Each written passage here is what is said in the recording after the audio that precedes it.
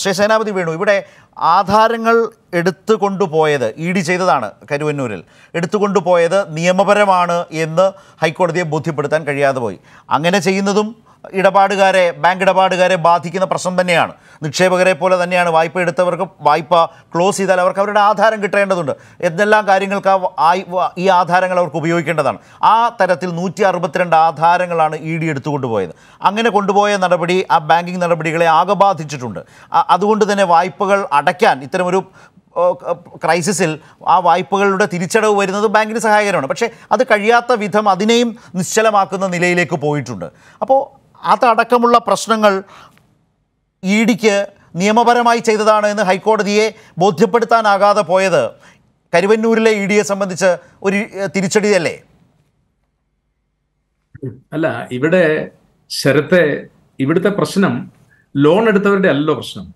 Loan എടുത്തവർ അടയ്ക്കുകയോ അടയ്ക്കാതിരിക്കുകയോ ഒക്കെ ചെയ്യട്ടെ. അവർ സമയമാകുമ്പോൾ ഇല്ലെങ്കിൽ അവരുടെ പ്രോപ്പർട്ടി ജപ്തി ചെയ്യാം. അതിന് നിയമപരമായ വ്യവസ്ഥാപിതമായ മാർഗങ്ങളുണ്ട്. ഇവിടുത്തെ പ്രശ്നം എന്താ? ഇവിടെ നിക്ഷേപിച്ച ആളുകൾ നമ്മൾ അവരുടെ പ്രശ്നമല്ലേ അഡ്രസ്സ് ചെയ്യേണ്ടത്? നിക്ഷേപിച്ച ആളുകൾ അവരുടെ പണം കിട്ടുന്നുണ്ടോ? നിക്ഷേപിച്ച ആളുകൾക്ക് അവരുടെ ലോൺ അല്ല നിക്ഷേപം തിരിച്ചു കൊടുക്കുന്നതിന് ആധാരവുമായിട്ട് എന്തെങ്കിലും ബന്ധമുണ്ടോ? ഒരു ബന്ധവുമില്ലല്ലോ നിക്ഷേപകൻ അവന്റെ ഐഡന്റിറ്റിയുമായിട്ട് വന്ന് ഐഡന്റിറ്റി കാർഡുമായിട്ട് വന്ന് ഞാൻ ഇന്നയാൾ സേനാപതി വേണു അല്ലെ ശരത്ത് അതല്ലെങ്കിൽ സ്വരാജ് നമ്മൾ വന്ന് നിക്ഷേപിക്കുന്നു. ആ നിക്ഷേപം തിരിച്ചു കൊടുക്കുന്നതും ആധാരവുമായിട്ട് കൂട്ടിക്കുഴക്കേണ്ട ആവശ്യമുണ്ട് അല്ല ഒരു ബാങ്ക് ഇടപാടിൽ രണ്ടുമില്ലേ? നിക്ഷേപവും വായ്പയും. പരസ്പര ബന്ധിതമല്ലേ? ഈ വായ്പ തിരിച്ചടവല്ലേ ബാങ്കിനെ സാമ്പത്തികമായി നില അത് ക്ലോസ് ചെയ്തു പോയാലോ? നിക്ഷേപങ്ങൾക്ക് എങ്ങനെ നിക്ഷേപങ്ങൾ ക്ലോസ് ചെയ്താൽ കൊടുക്കാനാകും? അല്ല ഇവിടെ ഇവ അല്ല ഞാൻ ചോദിക്കുന്നത് ഈ നിക്ഷേപകർ പറയുന്നവർ നിക്ഷേപം ക്ലോസ് ചെയ്തവരാണ്. ഈ തൊണ്ണൂറ്റിരണ്ട് ആധാരക്കാർ പറയുന്നത് ഞങ്ങൾ ഞങ്ങളുടെ നിക്ഷേപം ക്ലോസ് ചെയ്തിട്ടുള്ളതാണ്. ഞങ്ങൾക്ക് ഞങ്ങളുടെ ആധാരം തിരിച്ചു കിട്ടിയാൽ മതി. അതല്ലാതെ അവർ പണവുമായിട്ട് ബാങ്കിന്റെ മുമ്പിൽ കാത്തു നിൽക്കുകയല്ല. ഞങ്ങൾ അടയ്ക്കാനുള്ള തുക അടയ്ക്കാൻ അങ്ങനെയല്ല ശ്രീ സേനാപതി. അതായത് ഇതിൽ ചില ഇത് ഈ പർട്ടിക്കുലർ ഹർജിക്കാരൻ പറയുന്നത് അദ്ദേഹത്തിന് രണ്ട് വായ്പകൾ. ആ വായ്പകൾ അടച്ചു. വായ്പകൾ അടച്ചു തീർത്തിട്ടും വാ- ആധാരം കിട്ടുന്നില്ല. പക്ഷേ ഈ സാഹചര്യം ആയതുകൊണ്ട് സംഭവിക്കുന്നത് വായ്പ തിരിച്ചടവിന് സന്നദ്ധമായവർ പോലും വായ്പ തിരിച്ചടയ്ക്കുന്നില്ല. അപ്പോൾ ബാങ്കിലേക്കുള്ള പണവരവ് നിലയ്ക്കുന്നു. ഇതാണ് സാഹചര്യം. അപ്പോൾ അത് അങ്ങനെ ഉണ്ടെന്നാണ് ഞാൻ പറഞ്ഞത്. അല്ല ശരത്തെ നമ്മൾ മനസ്സിലാക്കേണ്ടത് നൂറ്റി തൊണ്ണൂറ്റിരണ്ട് ആധാരങ്ങളെ എടുത്തുകൊണ്ട് പോയിട്ടുള്ളൂ. ആ നൂറ്റി തൊണ്ണൂറ്റിരണ്ട് ആധാരങ്ങളിൽ ബഹുഭൂരിപക്ഷം ആളുകളും പറയുന്നത് ഞങ്ങൾ ലോൺ അടച്ചിട്ടുള്ളവരാണ്. അടച്ചിട്ടുള്ളവരുടെ ആധാരം തിരിച്ചു കിട്ടണം. അടച്ചിട്ടുള്ളവരുടെ ആധാരം തിരിച്ചു കിട്ടുന്നതിന് എന്താണ് തർക്കം? ഇവിടെ നമ്മുടെ മുമ്പിലുള്ള വിഷയം എന്താ? നമ്മുടെ മുമ്പിൽ ആ ബാങ്കിൽ നിക്ഷേപിച്ചിരിക്കുന്ന ആളുകളുണ്ടല്ലോ. ആ നിക്ഷേപിച്ച ആളുകൾക്ക് എപ്പോൾ നിക്ഷേപം തിരിച്ചു കിട്ടും? അതല്ലേ നമ്മുടെ മുമ്പിലുള്ള ചോദ്യം. അതിനെന്താണ് നമുക്ക് മറുപടി കൊടുക്കാൻ കഴിയുന്നത് എന്നുള്ളതല്ലേ. ഇവിടെ ഇപ്പോൾ ഗവൺമെന്റ് പുതിയ തീരുമാനങ്ങളൊക്കെ വന്നിരിക്കുന്നു. ഒരു ലക്ഷം രൂപ അമ്പതിനായിരം രൂപ ലോൺ ഉള്ളവന് അൻപതിനായിരം രൂപ ഉടനെ തിരിച്ചു കൊടുക്കും. ഒരു ലക്ഷം രൂപ ഉള്ളവന് അൻപതിനായിരം തിരിച്ചു കൊടുക്കും. ഇതിന്റെ ബാക്കിയുള്ളവർക്ക് എന്ത് തിരിച്ചു കിട്ടും?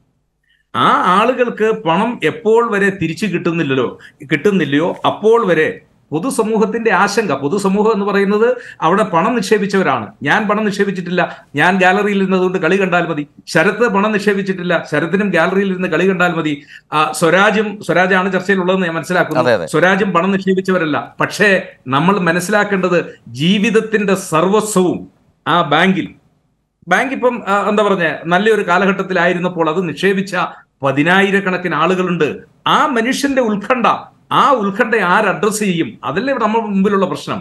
അത് ആരുടെയും കള്ളപ്പണമല്ല. അതല്ലെങ്കിൽ വേറെ ഏതെങ്കിലും രീതിയിൽ അവിഹിതമായിട്ട് സമ്പാദിച്ചതല്ല. ഇപ്പൊ ബോംബെയിലെ ഒരു ഒരു ഒരു ദമ്പതികളുടെ നമ്മൾ കണ്ടു. അവർ ബോംബെയിൽ സ്ഥിരതാമസമായിരുന്നു. അവരുടെ ജോലി അവിടെ അവസാനിപ്പിച്ചപ്പോൾ അവിടുത്തെ ഫ്ളാറ്റും വിറ്റ് അവർക്കുണ്ടായിരുന്ന സമ്പാദ്യം എല്ലാം കൂടെ ചേർന്ന് ഏതാണ്ട് ഒരു കോടി ഒന്നേകാൽ കോടി രൂപ അവർ കരുവന്നൂർ ബാങ്കിൽ നിക്ഷേപിച്ചതാണ് അവർക്കുള്ള ആ ബാങ്ക് എന്ന് പറഞ്ഞത് എന്താ? പ്രതിമാസം അവർക്ക് പന്ത്രണ്ട് ശതമാനം പലിശ കൊടുക്കുന്നു. അപ്പം ഒരു കോടി രൂപ ഒന്നേകാൽ കോടി രൂപയാകുമ്പോൾ വലിയൊരു എമൗണ്ട് അവർക്ക് പ്രതിമാസം കിട്ടുന്നു. ആ പ്രതിമാസ വരുമാനത്തിൽ അവർ ജീവിച്ചുകൊണ്ടിരിക്കുന്ന ആൾ. അത് ഒറ്റ ദിവസം കൊണ്ടങ്ങ് നിന്നുപോയി.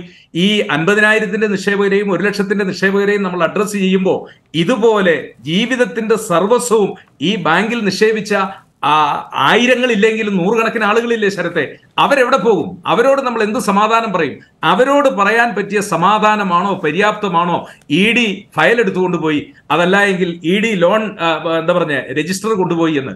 ഞാൻ ഒന്നിലധികം സർവീസ് സഹകരണ ബാങ്കിന്റെ ലീഗൽ അഡ്വൈസറാണ് ഈ പണം നിക്ഷേപിക്കുന്ന ഒരാളും എന്ത് എന്ത് രേഖയാ? അവരെ തിരിച്ചറിയാനുള്ള കാർഡ് കൊടുക്കണം. ഇനിയിപ്പം സഹകരണ ബാങ്കുകളിലായതുകൊണ്ട് അവരുടെ എന്താ പറയുക വരുമാനത്തിന്റെ സ്രോതസ് പോലും സോഴ്സ് പോലും പലപ്പോഴും ചോദിക്കാറില്ല എന്നുള്ളതാണ്. ആരുടെയാണ് രേഖകൾ എടുത്തുകൊണ്ട് പോയിട്ടുള്ളത്? രേഖകൾ എടുത്തുകൊണ്ട് പോയിട്ടുള്ളത് ആ ബാങ്കിൽ നിന്ന് ലോൺ എടുത്തിട്ടുള്ള ആളുകളാണ്. ആ ലോണും അവരുടെ പലിശയും കൂടെ ചേരുമ്പോൾ അവരുടെ ആധാരത്തിന് സമാനമായിട്ടുള്ള അല്ലെങ്കിൽ അതിന്റെ ഒരു എൺപത് ശതമാനം അത് ആ പണം അവരുടെ കയ്യിൽ എത്തിക്കഴിഞ്ഞിട്ടുള്ളതാണ്. ഇവിടെ പ്രശ്നം ആരുടെ പ്രശ്നമാണ്? പ്രശ്നമെന്ന് പറയുന്നത് ആ ബാങ്കിൽ നിക്ഷേപിച്ചിട്ടുള്ള ആളുകളാണ്. അവർ അഡ്രസ്സ് ചെയ്യപ്പെടുന്നില്ല. അവർ വലിയ ഉത്കണ്ഠയിൽ നിൽക്കുന്നു. ആ പ്രതിസന്ധി ആ പ്രതിസന്ധിക്ക് എന്ത് പരിഹാരം ഉണ്ടാകും